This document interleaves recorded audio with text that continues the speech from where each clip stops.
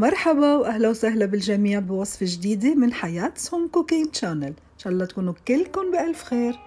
وصفة اليوم هي سلطة الكول سلو السلطة يلي بنقدمها مع ال burgers أو مع الدجاج المقلي. فينا ناكلها لحالها ممكن ليه لا من شو مؤلفة هالسلطة من الملفوف والجزر. والصلصة يلي رح نسويها هلأ بعد شوي بتشوفوا المكونات تبعيتها. بداية عندي هالملفوفة بدي ورقة مثل ما عم بتشوفوا عم بورقها ورقة ورقة. ليه عم بعمل هالشي؟ أنا بالكول سلو ما بدي حط الضلوع تبعول الملفوفة. رح شيلهم وأستعمل بس الورق. وهيك بتطلع السلطة. نحن عم ناكلها ما بنتضايق إنه في ضلوع قاسيين. بالعكس بتطلع كتير طرية وكتير طيبة. ما في شي رح يزعجكم فيها. فإذا أنا مضطرة أشتغل مثل ما عم بتشوفوا شيل ورقة ورقة لأقدر أفصل الضلع عن الوراق. ما فيني قصة أربعة وأفرمهم هيك بينخلطوا بصير نقيهم يعني بتاخد وقت أكتر. يعني هالملفوفة طلعت وراقة مكبسين كتير على بعضهم وأخيرا خلصتهم من بعد مجهود. أكيد بدنا نغسلهم كتير منيح رح حط الملح وشوية خل أبيض. وبغمرهم بالمي وبتركهم حوالي ربع ساعة. برجع بغسلهم عن جديد. كل ورقة بورقتها وبنشفهم وبعدين بستعملهم للسلطة. لازم يكونوا ناشفين كتير منيح ما يكون فيهم مي. فإذا غسلت الملفوفة كلها ورح أفرمها كلها للسلطة. نشفت كتير منيح وهلأ رح أبدأ بالفرن. ناخد الوراق في منهم بيبقوا قاسيين يلي هن بيبقوا من جوات الملفوفة. عم شيل الضلع منها.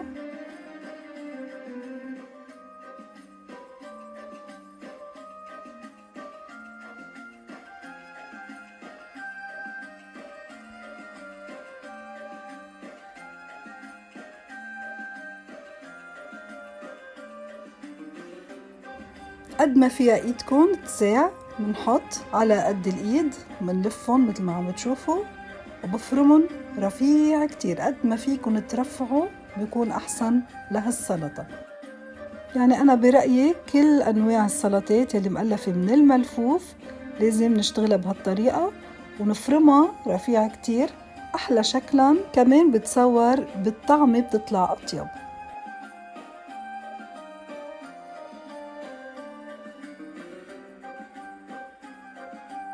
عم بيطلعوا معي مثل ما أنا بدي هالقد رفيع والقد لازم يكونوا. هيدا بسبب كمان إنه ما في ضلوع لو في ضلوع فيهم تركنا الضلوع ما رح يطلعوا معنا بهالشكل هيدا. فاذا مرحلة إنه نشيل الضلع كتير كتير مهمة ما نحطه بالسلطة في مكانات يمكن تفرم هالفرمة هيدي إذا موجودة عندكم فرمون فيها إذا بترتاحوا أكتر. بس المهم ما نخلي الملفوفة تدهر ميتها وتصير هيك دبلانة ضلها على شكلها. رح أفرم هالملفوفة كلها وبرجع لكم رح خلي كم مشهد كيف عم بفرم.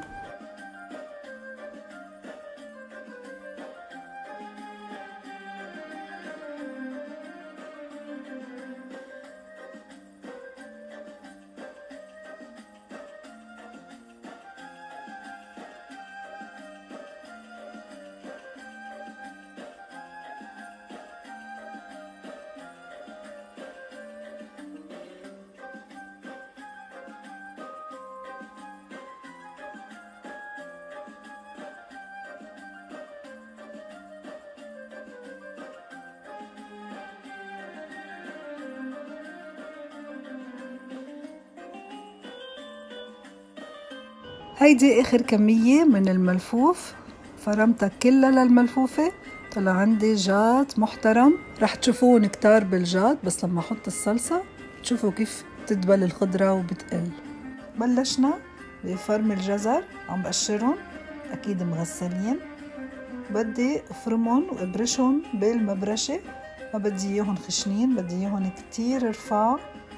لحتى يطلعوا مثل ما بنشوفهم بالمطاعم الوجبات السريعة بيبقوا هيك مبينين أورانج أو لونهم برتقالي بقلب الملفوف بيطلعوا كتير طيبين وشكلهم ناعم. كمان ما بنحس فيها للجزرة كتير بدها تكون مبروشة برش. استعملت ثلاث حبات جزر كبار للملفوفة كلها لأنه نحن اتكلنا على الملفوف الجزر هيك تلوينة صغيرة. أكيد بتغذي بس الأساس هي الملفوف. العيار طلع كتير منيح إنه ثلاث جزرات طلعوا رائعين بالنسبة لملفوفة كاملة. عم ببرشهم على الجهة الخشنة. شفتوا كيف عم بيطلعوا هيك بدي إياهم.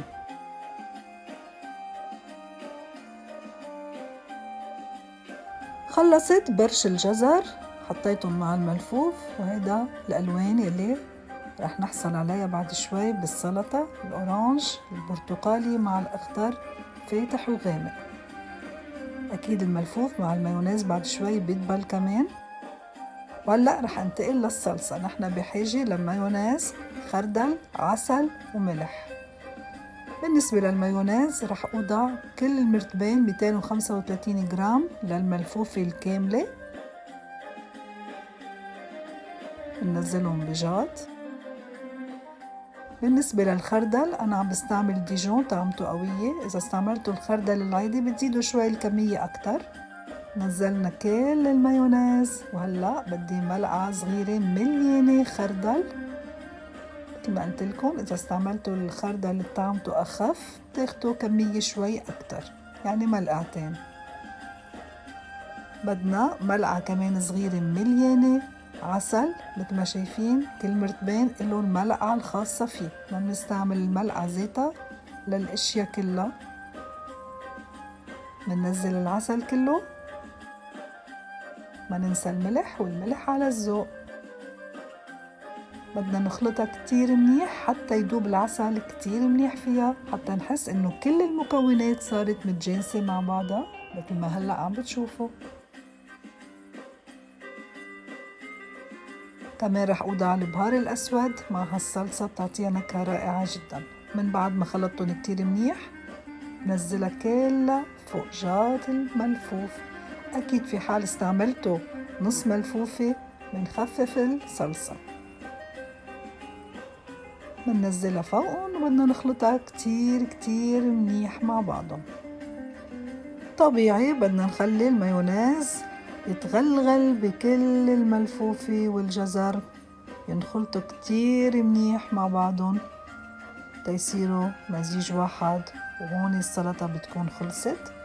شو رأيكم لهلا؟ شو رأيكم بهالصلصة الغير شكل جربوها؟ كتير طيبة.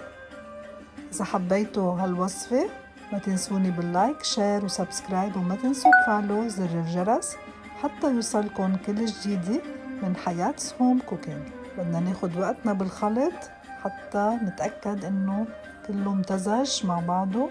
بنقدمها مباشرة أو فيكم تحطوها شوي حوالي ربع ساعة بالبراد حتى تسقع. كمان بتصير أطيب وأطيب. بحب أخلط السلطة بإيدي. بحس بتمتزج مزبوط وبسرعة أكتر بالإيد. ما بعرف هالمرة مصرة أخلط بالشوكة والسكينة. على كل من بعد ما خلطتها كتير منيح عم بسكبها بجات التقديم. مثل ما عم بتشوفوا سلطة كتير طيبة كتير شهية ما بتفرق شي أبدا عن مطاعم الوجبات السريعة محل ما بنشتريها. وصدقوني أطيب بكتير. الصلصة اللي عملناها مميزة جدا. لاحظتوا كيف دبل شوي الملفوف حتى أنا عم بخلطها دغري دبل. كلهم ساعوا بقلب هالجات التقديم. كانت سلطة كتير طيبة. قدمت حدا أصابع الدجاج المقرمشة المشوية. الفيديو نزل على اليوتيوب بفيديو سابق. كتير طيبين مع بعضهم. بنصحكم تجربون طولت عليكم شوي بهالوصفة. بالأخص الفرم. بس حبيت أعطي فكرة للمبتدئات إنه فرم الملفوف ما بيكون عشوائي. لازم نفصل الورقة عن الضلع والتفاصيل اللي شفتوها. كرمال يطلع معكم أطيب جات ملفوف مش ضروري بس مع المايونيز. حيلا سلطة ملفوف فرموها بهالشكل. تطلع معكم طرية ما بتزعجكم بالأكل. بتصيروا على طول تعملوا هالسلطة اللي بتغذي كتير لأنه الملفوف كتير طيب وقليل ما بنسويه لأنه بنحسه تقيل. بشكركم كتير على المشاهدة والمتابعة وبشوفكم بفيديو جديد قريبا جدا. باي باي.